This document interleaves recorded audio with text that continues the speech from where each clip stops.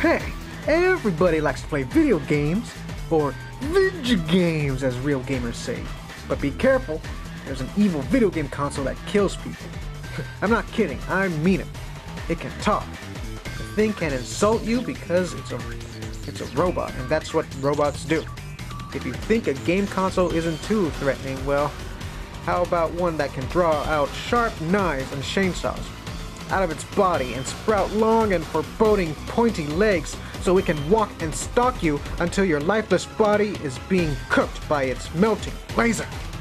Yes, and our favorite teen heroes are playing with that same console. Let's hope this isn't a short series due to dead characters. Child's play. Jeff and Taylor Episode 1, G Station. Out now at jeffandtaylorcomic.com. Rated PG for mild peril, mild violence, dumb cops. Anyone up for a friendly game of death? Die!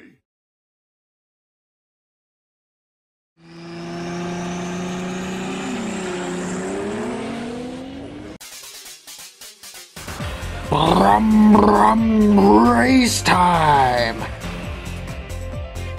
Jeff and Taylor got themselves into another funny predicament when they're challenged to a car race with a group called the West End Girls. A group known for their competitive spirit and big boobs. Jeez, what were Jeff and Taylor thinking? They know they can't drive, so they have to restore their old go kart for the big race. Although J and T are forced with the handicap of using a go kart, they'll still find a way to get ahead of the competition.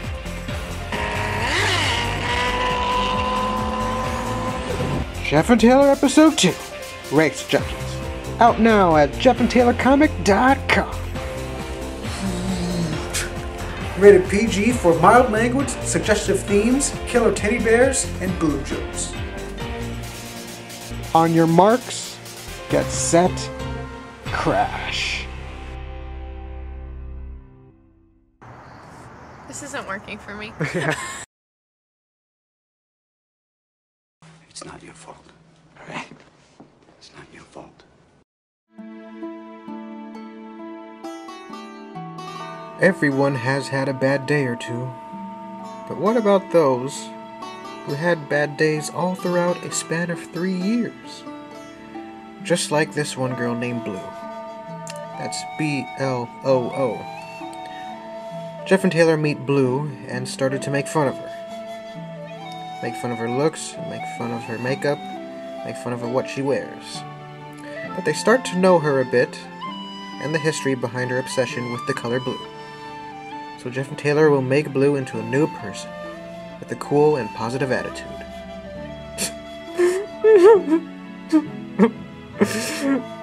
I'm sorry. It's just. This story has some sad parts, you know?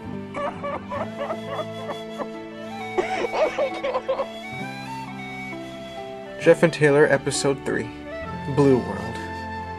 Out now on jeffandtaylorcomic.com.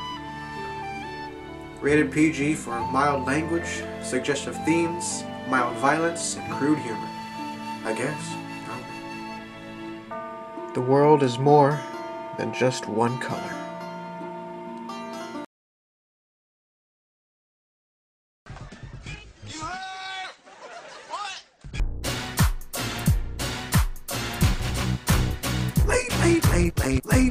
Gentlemen, boys and girls, a new episode is up. And I'm not the one who's gonna be explaining things, but my man Bobby Ambler will be the one to do so. Holler at your boy. It's your boy Bobby Ambler here to tell you about this episode. Now let me drop it to you hot. These two losers, Jeff and Taylor, they're throwing this lame ass party just to get my attention.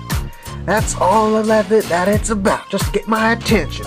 What, what, what do they have in that dumbass party? They have this uh, hippie chick, this blue girl, this loudmouth, uh, greasy New Yorker guy, uh, this ghetto ass clown named Party Dude. Well, why the hell is Party Dude there? What did he do? Party Dude, what, what the hell? Hey, I'm just here to tell you to read the episode because it's funny, because I'm in it. And you know, any episode where Bobby Ambler is in, it's sure to be a great old episode. Why you drop the beat out, man? Alright, how it go? You ready to rock it? Jeff and Taylor episode 4, Party Time. Cut out now on jeffandtaylorcomic.com. Rated PG for mild, My language, language. suggestive themes, alcohol reference, dumb hurts. Party, party, party. We gotta have a party. You heard? What? You heard? What? I'll see my brother.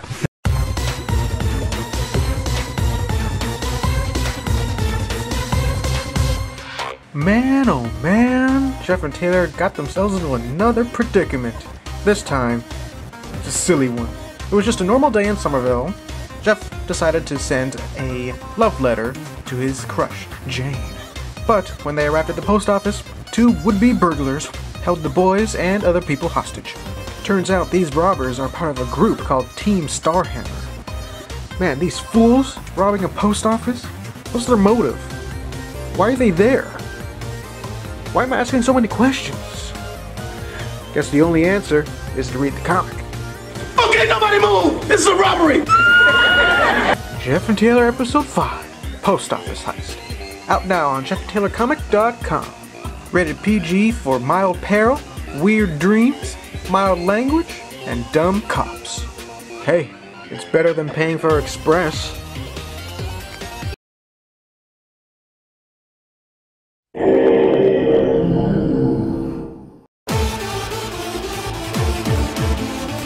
Oh damn! It's time for an action-packed Jeff and Taylor misadventure! Jeff and Taylor got in trouble by the robot security guard, EG, due to their curiosity in the mall's lingerie store. So, as a little punishment, the both of them have to help EG guard the mall at night. Why at night? Not too sure. But in that same night where Jeff and Taylor are guarding the mall, two other mysterious figures are wandering the mall, stealing, apparently stealing some things. And who knows what EG has up, up his sleeve. He looks kinda shady.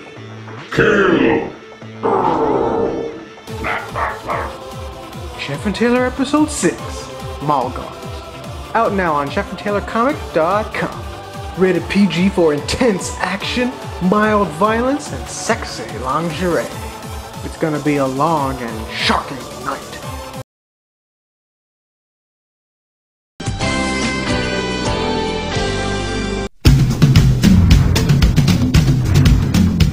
Oh lordy, it's Maria's birthday today, which means she's gonna frolic and have fun and be stupid, right? Wrong. Actually, it's a very sad birthday for Maria because her friends don't want to come to her party because they have other plans. So Maria's all whining and complaining throughout her birthday. So, big sister Cindy wants to make it all better by making Jeff and Taylor buy this certain dress, the Little Miss Cherry dress. But there's gonna be a problem because most of the stores that sell dresses are sold out of that dress.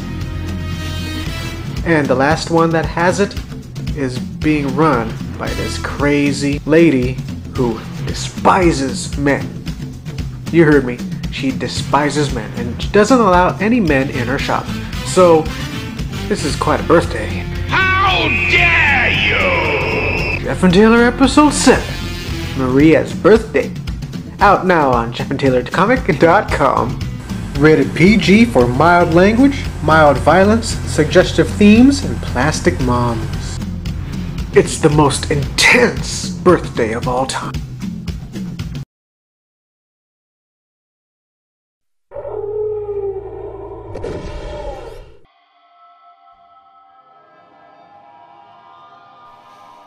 Ah, going camping with your friends. You get to go on nature walks, pitch tents, eat berries. It's a lot of fun. Jeff Taylor and their guy friends go on a camping trip with their science teacher, Mr. Turner. That's all for a grade and uh, whatnot, all that bullcrap. But then Jerry told a story about this monster living in the woods called Sabretooth. It's called Sabretooth because of its long, sharp teeth. and apparently it kills people and turns them into candles. But lo and behold, Sabretooth is real, and he is kidnapping Jeff and Taylor's friends one by one. It's very scary. Camping is not fun at all, and this is proof. This comic is proof. In fact, camping can be a real nightmare. Jeff and Taylor Episode 8 Nightmare Camping Trip. Out now on jeffandtaylorcomic.com. Rated PG for mild language, scary images, a little blood, and dumb raccoons. These woods are known for their carnivorous animals.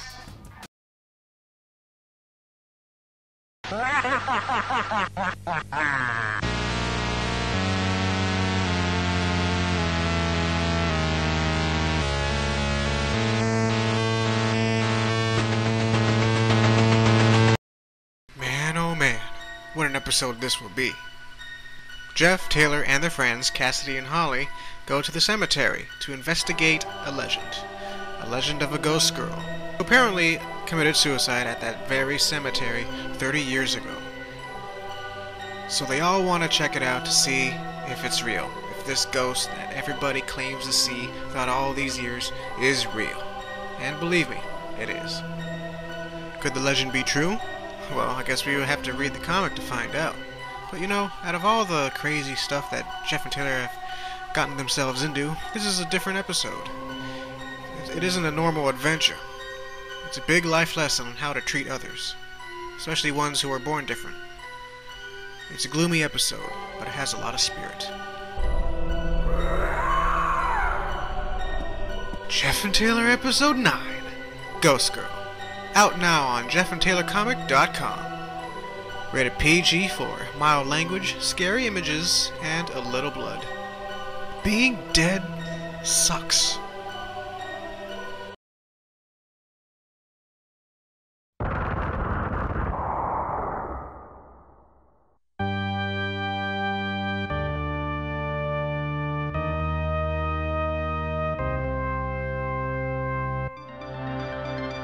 Are you having trouble sleeping? Don't worry. Jeff and Taylor will tell you a story.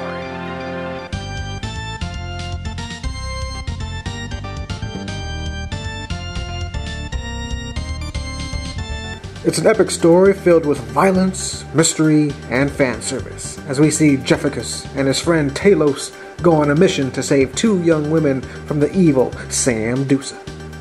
It's an ancient Greek quest that will keep you wanting more and more, hoping it won't stop. No love, dorks. Jeff and Taylor Episode 10 Ancient Geeks. Out now on jeffandtaylorcomic.com. Rated PG for language, violence, drug references, and busty goddesses. It's an epic tale starring epic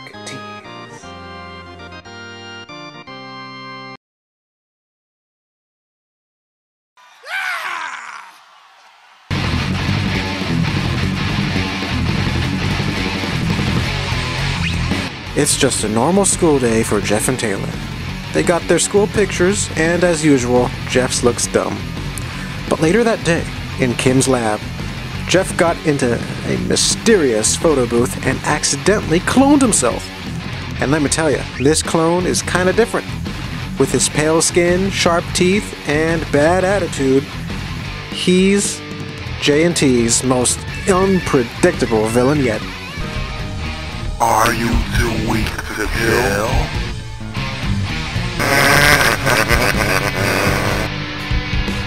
Jeff and Taylor episode 11 DJ. Out now on jeffandtaylorcomic.com. Rated T for language, violence, crude humor, and snogging teens. This crazy clone loves cracking heads. Oh, yeah, yeah. Hold on to your britches. We got ourselves another Jeff and Taylor episode. Team Starhammer is back to plot another robbery. A dumb one, no doubt. So our dudes team up with a teenage vigilante that goes by the name Rhizo to foil the Starhammer Goons' plans. And for Jeff, it's perfect timing, cause maybe his heroic stunt will impress Jane and she won't pay attention to that new sexy substitute teacher, Mr. Johansson. Will things go smoothly? Or will there be betrayal?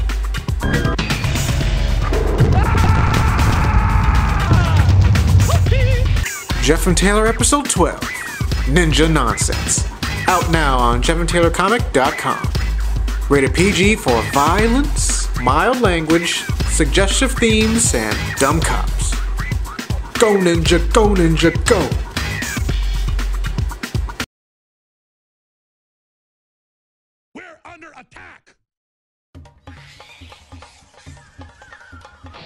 Will these two ever stop getting into trouble? Jeff and Taylor go on a little trip to Faulkner Island with Kim, Cindy, and Maria, thinking that they were gonna find treasure, but instead were tricked to help with Kim's studies. But while the boys were exploring, they discover they're not alone on this island. A small army of spyware puppets and their leader, Ralph Bronson, inhabit the island. And let me tell you, they are not hospitable at all.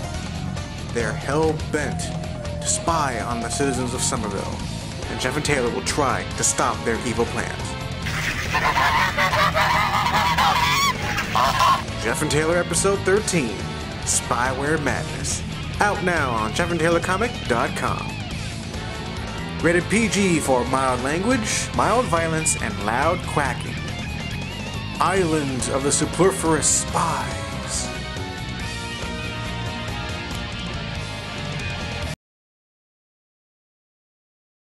At my signal, unleash hell.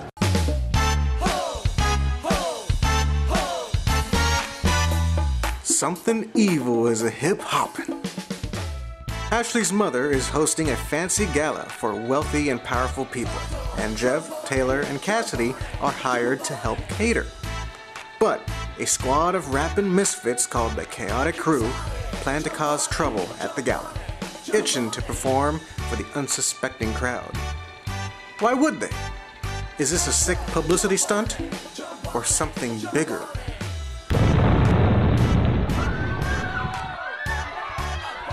Jeff and Taylor episode 14 Chaotic Crew.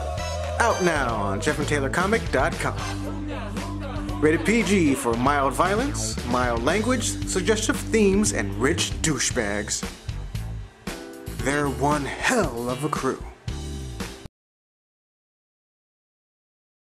Clown college. You can't eat that.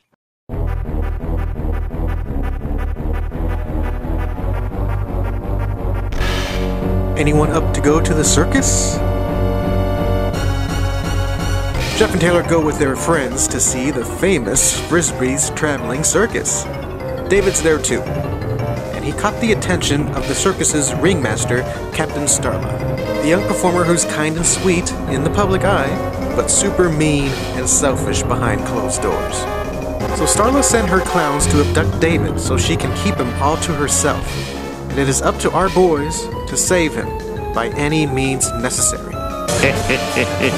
Clowns are funny. Jeff and Taylor episode 15 Circus Stars. Out now on jeffandtaylorcomic.com. Rated PG for mild violence, mild language, suggestive themes, and scary clowns. We're in big top trouble.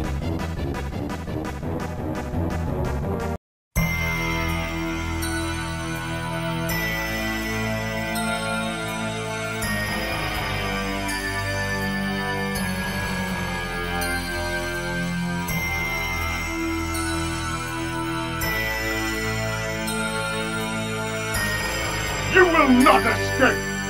You have no hope!